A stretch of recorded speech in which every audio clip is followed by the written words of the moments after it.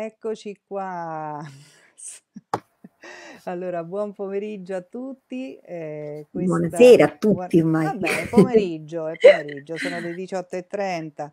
Ehm, questa è è la prima puntata, ehm, di di una serie di 13, ehm, "Sommerse e salvate" è il titolo di questo nuovo progetto teatrale che abbiamo fatto noi del Naufragarme Dolce. Come vedete in 2 studi separati, ehm, ci siamo noi, Chiara Casarico e Tiziana Scocca. E adesso andiamo a chiamare la nostra ehm, abbiamo pensato prima come la chiamiamo? La nostra Committente, produttrice. produttrice, ehm, Mhmm, la stimolatrice, mecenate. mecenate, Co colei vabbè. che Vabbè, ha ha fatto che nascere questo progetto esatto, ha fatto comunque. nascere questo progetto, l'ha voluto fortemente, quindi invitiamo Simona Lanzoni, adesso l'aggiungo in studio. Eccola, ciao Simona. Ecco Simona. Ciao care. Ciao Ma certo che carissima. presentazione. Eh. Eh, hai visto? Non te lo saresti mai aspettato. Allora, Simona Lanzoni rappresenta la Fondazione Pangea Onlus e si occupa da una vita di, ehm, donne, ehm, donne, mhmm, no non soltanto credo qua in Italia, ma anche e soprattutto all'estero. Eh, dici qualcosa di te Simona. Ebbene sì, perché la Fondazione Pangea nasce nel 2002 proprio con nasce con le donne nel cuore nei luoghi di conflitto, perché abbiamo cominciato con l'Afghanistan e poi abbiamo continuato con il Nepal dove c'erano altri conflitti per arrivare poi in Congo e poi tante zone di povertà, ehm, estrema, fino ad arrivare poi in Italia. Siamo arrivati tardi in Italia nel 2008, ehm, però poi piano piano ci siamo resi conto che tante donne che provengono dai conflitti sono oggi in Italia.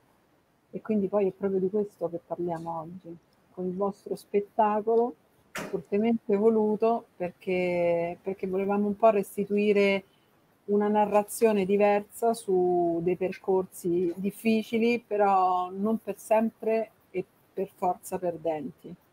Mh, esatto. Allora, che dici Tiziana? Facciamo parlare Facciamo parlare le immagini, mandiamo la Sì. Clip che è il prologo dello spettacolo. Vediamo un po' che racconta e poi ci agganciamo.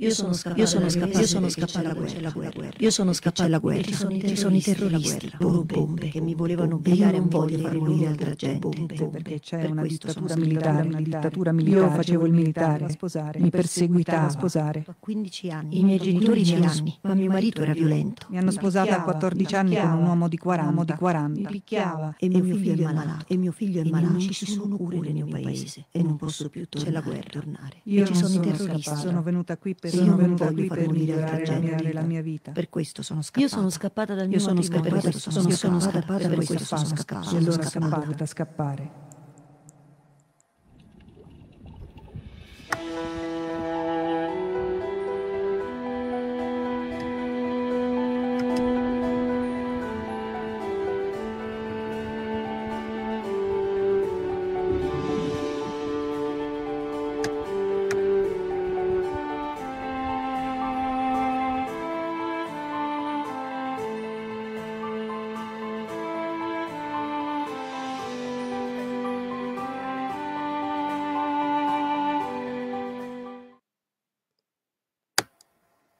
Eccoci qua. Eh, in teatro si fa l'applauso. Ecco, qua è, è, è, strano, però l'emozione, devo dire, è, è, simile, molto simile. Non è la stessa cosa, ma eh, fa, fa, un certo effetto poi rivedere no, eh sì. schermo. Sì, poi noi non, così vediamo anche quello che succede, noi siamo sempre dentro, dietro, no? Mm. invece con questo modo di raccontare possiamo riguardare, è stato anche interessante sezionarlo, rivedere anche i pezzi di questa storia, no? rivedere i temi ognuno singolarmente. Sì, eh. sì infatti eh, io, eh, vabbè, come prima cosa mi mh, correva l'obbligo di, di, ringraziare le persone che hanno contribuito alla realizzazione di questo spettacolo. Eh, prima di tutto eh, gli artigiani digitali, eh, Paolo Damiani e Laura Di Pietro, che hanno realizzato queste clip, quindi eh, veramente grazie a Paolo e Laura. E, e, poi grazie ai nostri scenografi eh, Sergio Minelli e Anna Maria Porcelli che eh, hanno realizzato la scenografia che eh, oggi nella prima clip forse ancora non avete la possibilità di apprezzare in pieno ma la, la apprezzerete nelle prossime clip.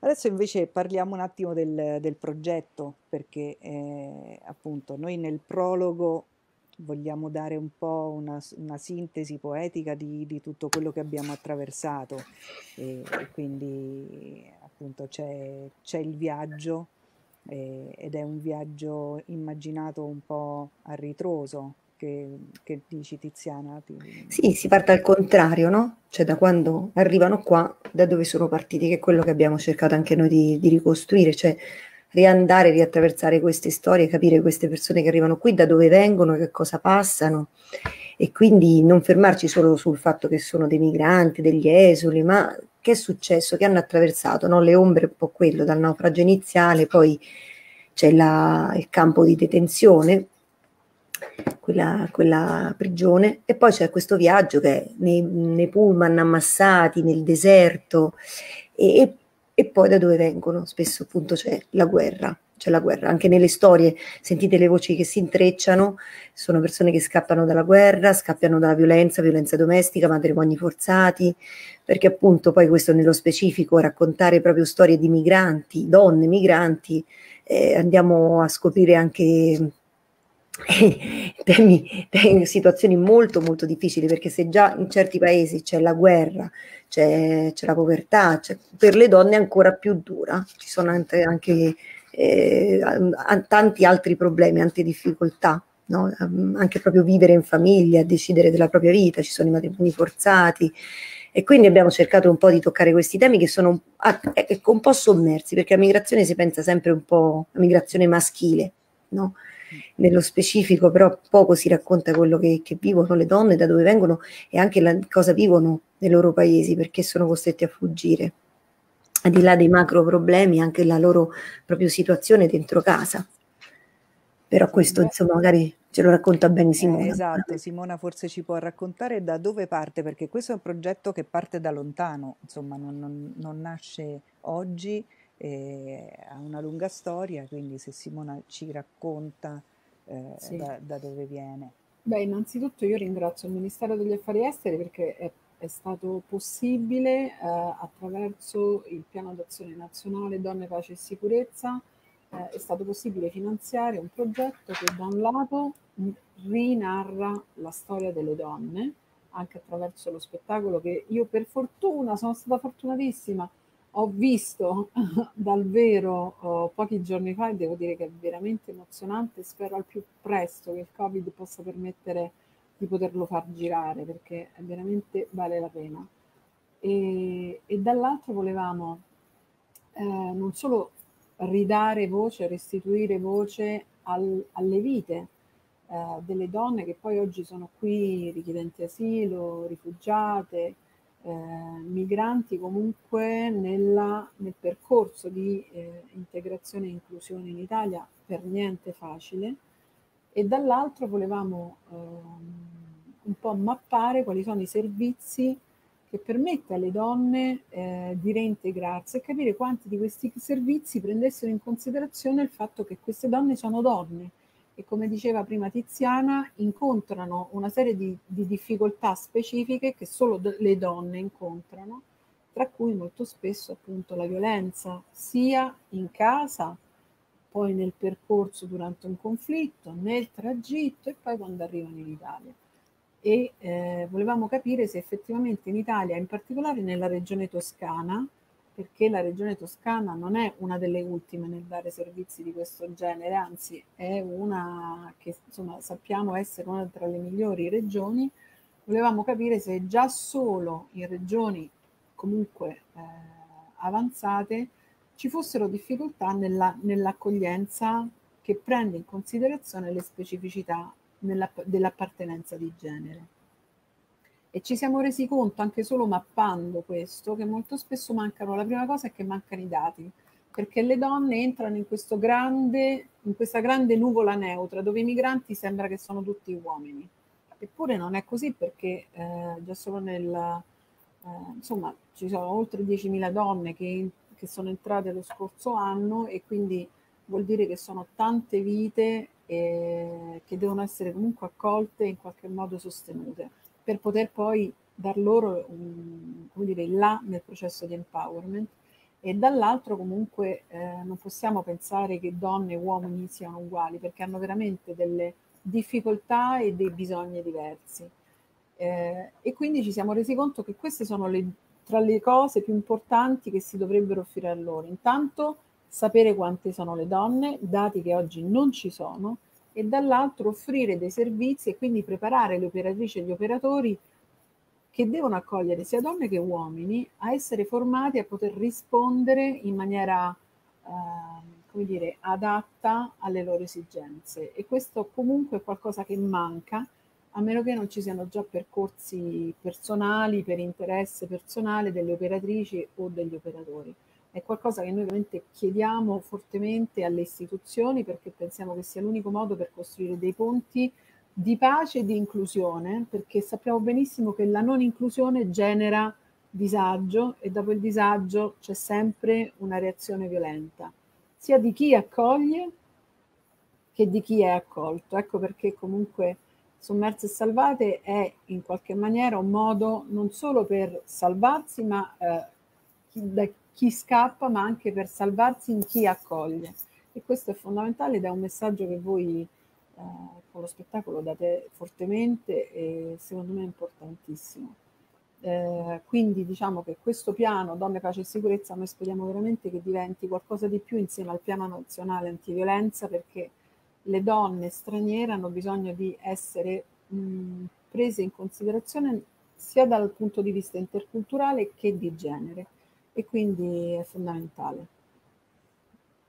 Grazie, grazie Simona per eh, questa piccola introduzione perché effettivamente il, il tema è enorme. Eh, noi ce ne siamo accorte subito appena eh, ci hai invitate alla prima riunione, oggi riguardavo tra le email, era il 18 aprile scorso, cioè è passato eh, più di un anno e mezzo. E, e questo progetto appunto ci ha avuto eh, un, diciamo è stato un parto abbastanza faticoso, travagliato, anche perché le, le, storie che andiamo a raccontare e che noi abbiamo letto, ascoltato, perché eh, voi ci avete fornito eh, delle interviste, ci avete fornito il, proprio il materiale, in alcuni casi abbiamo potuto parlare direttamente con qualcuno, no? eh, ma chiaramente non è, non è, cosa facile perché non, non è semplice poi entrare in contatto con, uh, con queste persone o, eh, e queste realtà.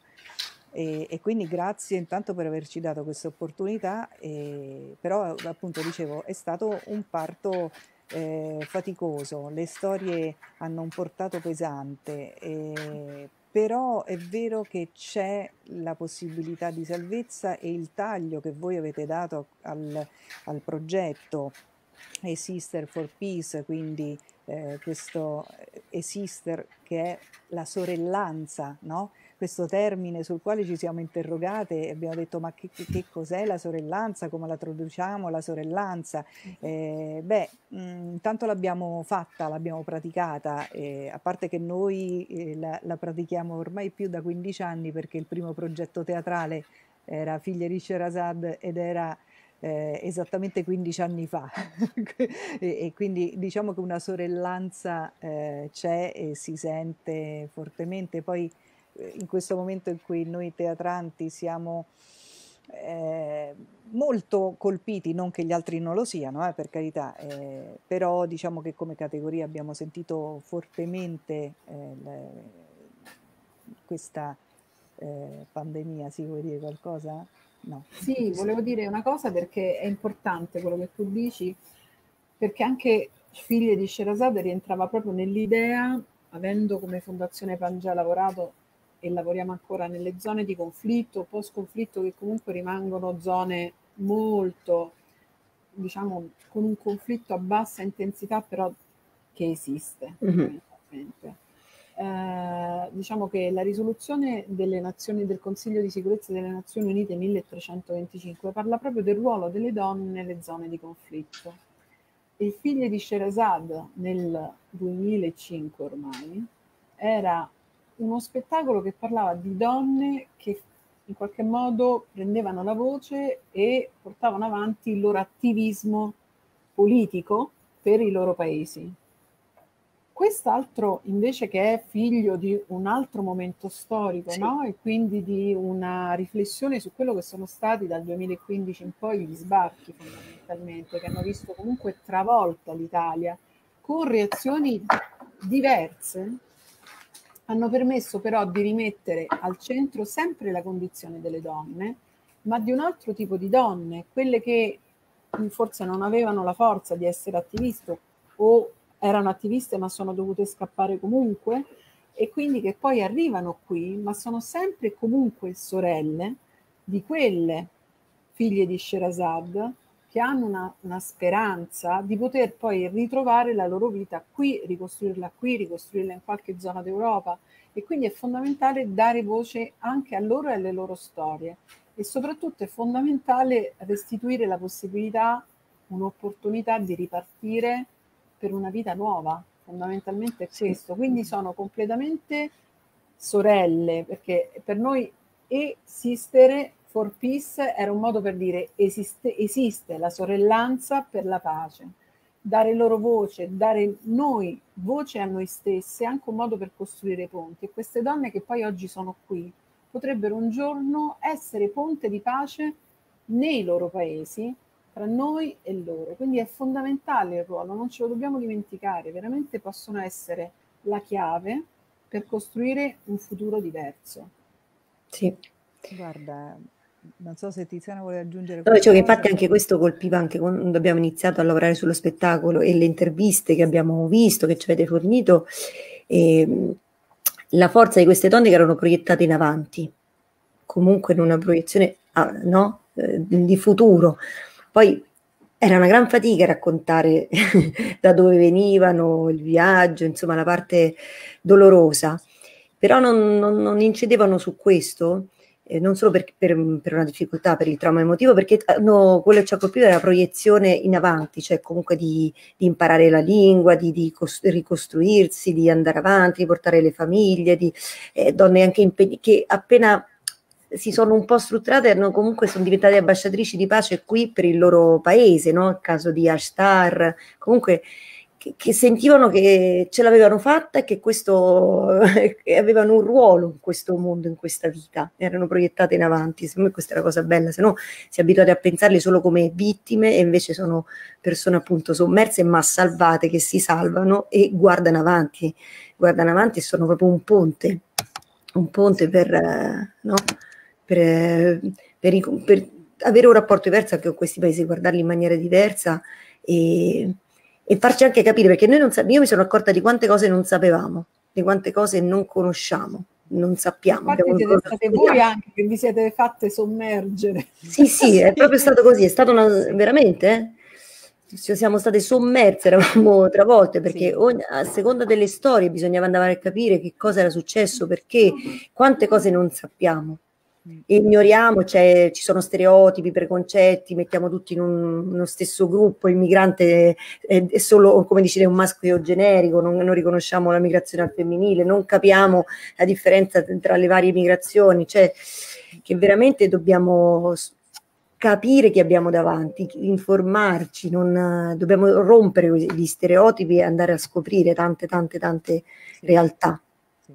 No, ma poi anche proprio fisicamente eh, cioè, uno non, non, si rende conto del, delle storie che ha davanti perché le vede sempre appunto o generiche o comunque così lontane, così eh, anche assurde.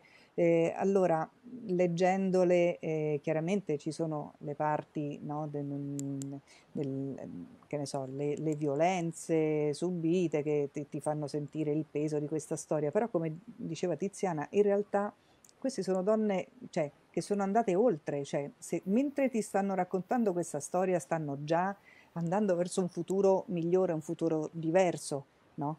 quindi si sono salvate ed è proprio questa salvezza no? che eh, è, è, la cosa che ci interessa e che ci fa eh, andare oltre al, alla pesantezza del, della provenienza, eh? perché adesso noi abbiamo visto il prologo e nel prologo effettivamente eh, ci sta un naufragio, ci sta ehm, la galera, ci stanno le bombe, le, le, la guerra a casa, cioè mh, eh, nelle, le voci no? le voci delle donne eh, che, che, abbiamo sentito, no? si, si, sente io sono scappata, sono scappata, cioè questa, le bombe, eh, cioè parole concitate eh, che ci riportano a un vissuto problematico, ma in realtà queste so, sono già andate oltre e, e, quindi è questa veramente un po' il la, la bellezza di queste storie è la, l'opportunità di conoscere questo argomento che per noi è assolutamente sconosciuto. E faccio proprio un esempio così banale, no? andando dal fruttivendolo, no?